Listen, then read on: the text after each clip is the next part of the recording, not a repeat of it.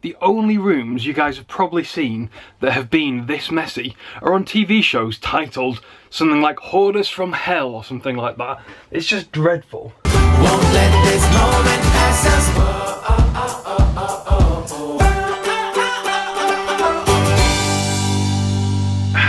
How you doing? Today I've decided that I'm going to keep the video a bit shorter than normal and I've had a busy day and I'm just going to focus on tidying this damn back bedroom. We've been putting it off and putting it off and putting it off but today we are going to do it or at least start and I know I told you guys that I wasn't going to show you the back bedroom because it was an embarrassing shit tip and it is an embarrassing shit tip but I'm going to show you anyway so you can actually see what we've got to work with and why we keep putting it off.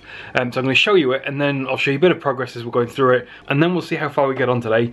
Not sure we can do that much. It's now like 8 o'clock so it's not like we can do loads and loads and loads. And I'm in a bit of pain today so I can't do too much lugging stuff around. This is a mess you probably haven't seen. In fact, the only rooms you guys have probably seen that have been this messy are on TV shows titled something like Hoarders from Hell or something like that. It's just dreadful. Might need to sit down for this. So we have some empty boxes here, a load of tools and DIY stuff in the middle. I got a um, radiator from the study here that needs to go up. I've got a frame from an old bed that needs to get uh, removed. This we bought and put up not that long ago, so that's staying. I've got a load of frames that came from around the house that probably need to be either painted or thrown away. A duvet that we need to do something with. Um, behind that, so this is this is underlay from the flooring in the study that I put down, but it was expensive, so I didn't want to throw it away. Behind that, I've got two chest of, not chest of drawers, bedside tables from Ikea that we got years ago, and they're full of fabric Jen, as you probably know, likes making quilts, so she's hoarded so much. Hoarded? Is hoarded a word? Yeah. She's hoarded so much damn fabric over the years that it just fills up everything.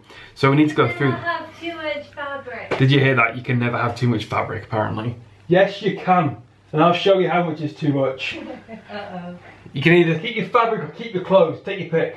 I'm gonna use it. Oh, she's going to use it. She's been telling me this for years. So it's quite a small room anyway. Um, there's a bookcase here with books we just don't read. This wardrobe Jen's dad built for us years ago. Um, we need to put the doors on it. We never got around to doing that. And it's full of stuff that could go in the bin or to charity. Jen's graduation photo. No, your photo's not supposed to go in the bin. I was just pointing it out. Oh. Yeah, that's not going in the bin. Um, and and this here, this contraption, was it? Bookshelf! Cannot think of words today. This bookshelf I actually made and attached to the um, wardrobe that Jen's dad made because we had so many books and nowhere to put them and I was trying to clear space in this room that now is housing all the mess from the rest of the house that has nowhere to go and it needs to be sorted through. Fortunately I think a lot of it is temporarily just going to end up in other rooms until we can find a home for it. So much stuff. Right, less talking, more doing. Come on Jen, let's go we somehow managed to manhandle, I think it was pretty much a king-size duvet into this little thing. I don't know how we managed it. It took two of us and now we need to somehow close it up and vacuum it. And I'm curious as to how small and if this even works because that doesn't look like it's going to stay closed. So I've managed to suck a load of air out just by kneeling on it. That's pretty impressive, Jen. Right, vacuum, vacuum, let's do it. Let's do it.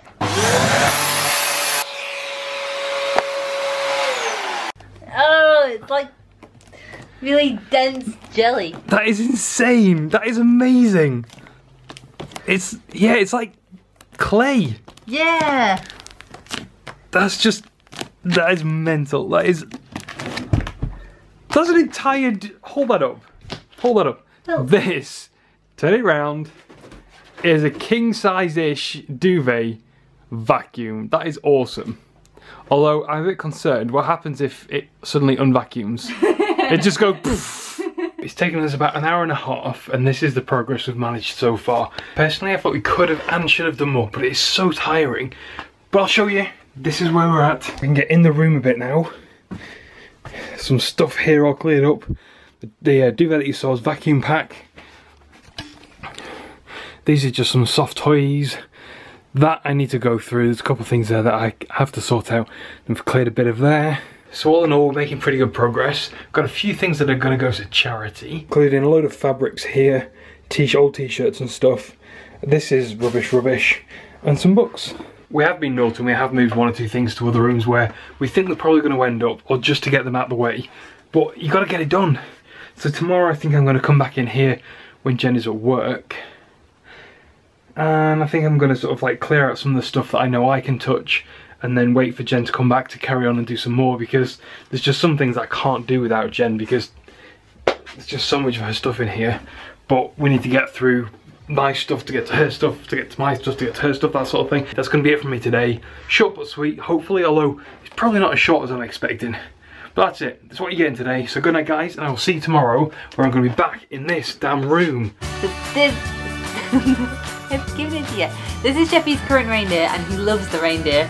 But it's looking a little bit mangled because it's, well, how many months old? Nine months old? But it's his reindeer!